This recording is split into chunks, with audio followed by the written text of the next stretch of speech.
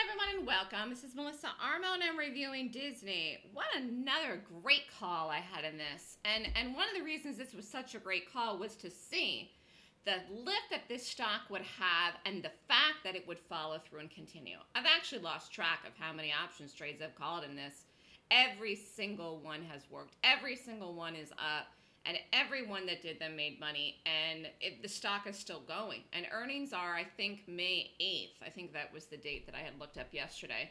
Um, so anything could happen as well between now and there but this clearly if the market is higher this coming week this will continue. Get over 140 and 150 is in sight.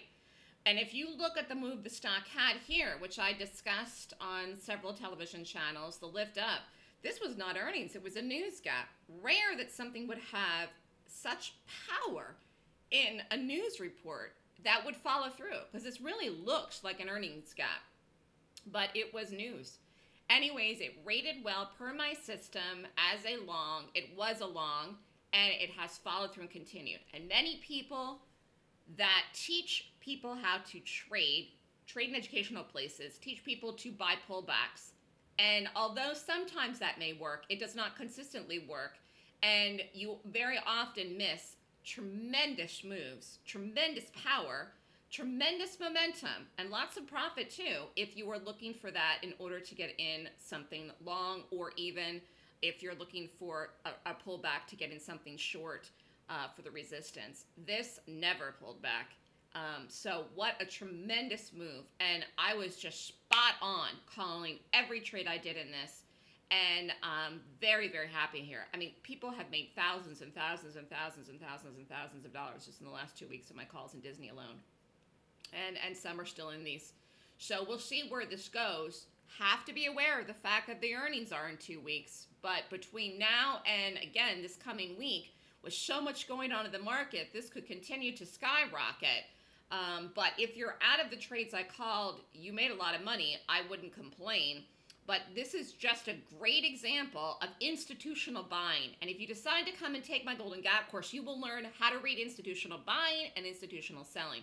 And if you can play on the heels of institutional money in the market, you will be profitable. The point is that many people don't know how to read that. Many people don't know how to do it. You cannot go long every bullish gap. And you can't go long every pullback. And you can't short every bearish gap down. And you can't short every rally into resistance. Not every chart is created equal. Not every gap is created equal. In fact, we were discussing this in the trading room yesterday or in the class.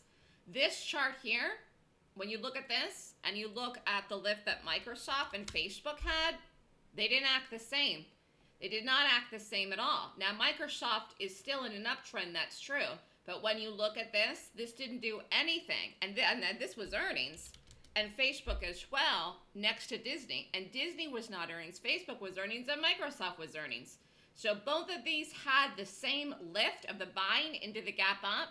And neither Facebook nor Microsoft could go anywhere with the lift. And Disney did. So this was just a great read on this chart. So I congratulations to everyone in the options letter that did it and the day trading room. There's a bunch of days we did it in there. Um, but we will be watching the stock. We will be watching the earnings when they come out on May 8th. We will see what happens here.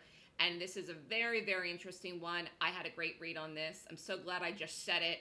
Um, you know, 11 years doing this. It's just, I have great calls. And uh, this year has just been phenomenal. So nice follow through here in Disney, and we'll see where it goes. Good luck, everyone, and congratulations to everyone that did the Disney.